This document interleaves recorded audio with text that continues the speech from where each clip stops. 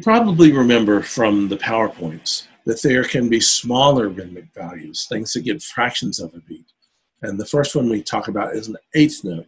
You saw that in the uh, PowerPoint, which has a head, black, a stem, and a flag that loops back up towards the note, going this way, or if it goes up, the flags go this way.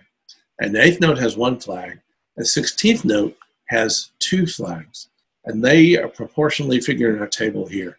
Whole note, half that size is a half note, a quarter of that size is a quarter note, and then an eighth of that size is an eighth note, and a sixteenth of that size would be sixteenth notes. If we're in a system where a quarter note gets one beat, this would be four beats, two beats, one beat, one half of a beat, and one quarter of a beat. Or if we're in a system where half notes get one beat, this would be two beats, one beat, half a beat, one quarter of a beat, one eighth of a beat in that situation. Now we can alter the rest the same way, you might remember that. An eighth rest looks like this, kind of like a seven, I think. But we can pile these hooks or flags on to make it smaller, a 16th rest, or even lower values if we need to. So now if this is the beat down here,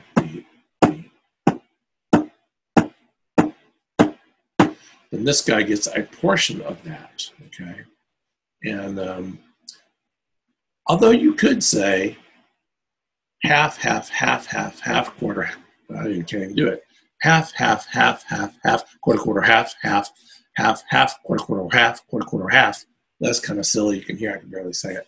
So instead, the way we count these, and they haven't shown you in this text yet, is one and two and one and a two and, and two and a one and a two.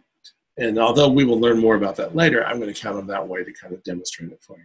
So this guy goes one and two and one and a two and and two and a one and a two. Down here, ready, go. One, two, and three. One and two and three. Two, three, and one and two and three. Down here, three beats per measure. Half note gets one beat. One, two, and three. One, two, three. One, two, and three E and one E and two, three. And this one, half note gets one beat and uh, two beats in measure.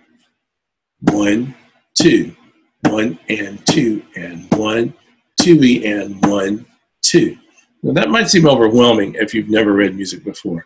I just want you to get the general idea of what those rhythms sound like and how fast those things can be.